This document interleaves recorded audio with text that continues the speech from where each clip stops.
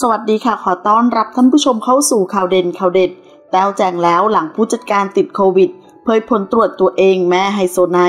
จากกรณีมีกระแสข่าวว่าผู้จัดการดาราดังคนหนึ่งติดโควิด -19 โดยเบื้องต้นทราบว่าได้มาเที่ยวผับดังแห่งหนึ่ง ในพื้นที่จังหวัดเชียงใหม่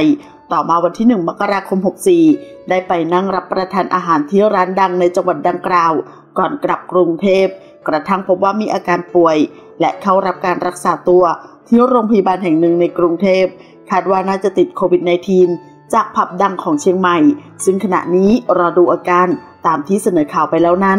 ล่าสุดวันที่ 8 มกราคมผู้สื่อข่าวรายงานว่า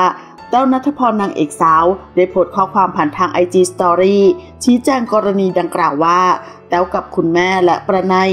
ได้ไปสวอปเทสทันที หลังทราบข่าวการติดโควิดของพี่เฟรมผู้จัดการในเช้าวันรุ่งขึ้น เราไปตรวจตั้งแต่เช้าวันที่ 7 มกราคมเวลา 8 นาฬิกา 30 นาที ที่โรงพยาบาลรามคำแหงแบบ drive thru ผล PCR ออกเวลา 13 นาฬิกาว่าไม่พบการติดเชื้อใดๆ ซึ่งเป็นการตรวจหลังจากพบเฟรมครั้งล่าสุดเมื่อ 12 วันที่แล้ว ตั้งแต่วันที่ 26 ธันวาคม อย่างไรก็ตาม พวกเราจะปฏิบัติตามคำแนะนำในการป้องกันตัว และการแพร่ระบาดของเชื้อโควิดอย่างเคร่งครัด และระมัดระวังยิ่งขึ้น เพื่อความปลอดภัยของตัวเราเอง และคนรอบข้าง ขอให้ทุกท่านปลอดภัย และรักษาสุขภาพกันอย่างมีสติ และไม่ประมาทนะคะ ด้วยความห่วงใยเป็นอย่างยิ่ง เพราะตอนนี้โควิดเข้าใกล้เรามากกว่าที่เราคิดแล้วจริง ๆ ค่ะแต้วขออนุญาตใช้โอกาสนี้ขอบคุณทุกกำลังใจ